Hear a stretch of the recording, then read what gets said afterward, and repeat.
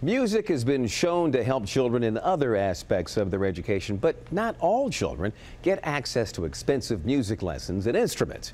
But a local group is doing their part to change that and help students hit all the right notes. And that's what makes Music Link this week's Harris's Hero. 13-year-old Alejandro Galdo takes pride in his playing. To me, music, I think, is just uh, something that I can express myself with. Let it sing. Let the voice come out.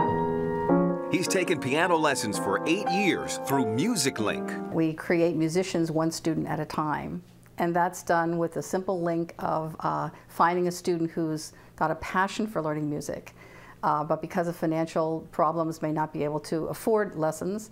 The program provides more than 600 disadvantaged children in the D.C. area with discounted music lessons, free instruments, and music camp scholarships. Yeah, I think the lessons definitely open up uh, more opportunities in the future. Teachers say the lessons give the students structure and helps them with their time management and organizational skills.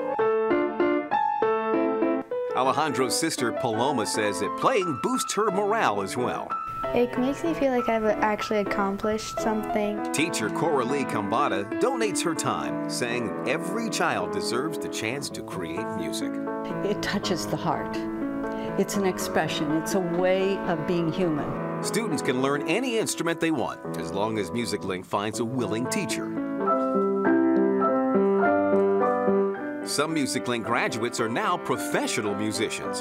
The Galdos, well, they're not sure about their futures, but they say for now, they just love to play. So I'm just excited to see what I'm going to learn next. How about that? You know, a survey of graduates of Music Link found that the most important part of the program for the students wasn't the music. It was actually the relationships that they formed with their teachers. How about that, Audrey?